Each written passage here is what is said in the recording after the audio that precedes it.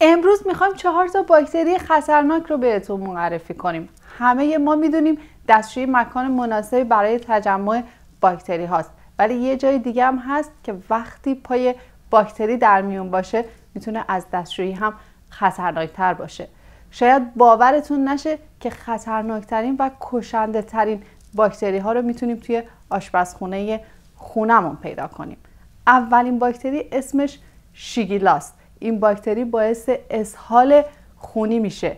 همه ما فکر می‌کنیم با تمیز کردن دور سینک مسئله رو حل کردیم. در صورتی که این باکتری درون مجرای آب سینک ظرفشویی می‌مونه پس با ریختن حداقل هفته دو بار یک لیوان سرکه سفید درون مجرای سینکمون این باکتری رو از بین ببریم.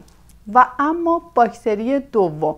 اسم این باکتری آنتروباکتری ساکازاکیه این باکتری باعث بیماری مننژیت میشه و درون آبی که توی سینی جاظرفی ما جمع میشه رشد می‌کنه.